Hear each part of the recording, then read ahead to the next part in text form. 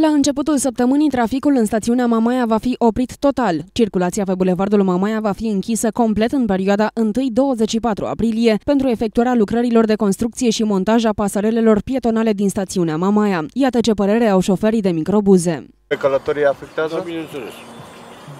Dumnealor sunt cel, cel mai mult deranjați. Ca să intri să o colești, deci vii de la Nobodar, intri să ajungi la Dobrogea, te întorci înapoi, e vorba de timp, e vorba de, de timp și omul se grăbește. Pe partea cealaltă consumați mai multă benzină? Cum Da, e? strălugi și traseul, cu aproximativ 3 km la fiecare cursă. Și banii aceștia bănuiesc că suportă Patronul să... din cheltuieli, dar fără voia lui.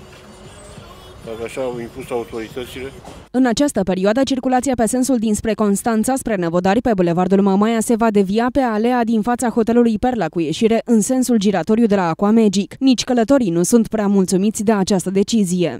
Timpul până la Constanța e mult mai lung și dificultatea parcurgerii drumului.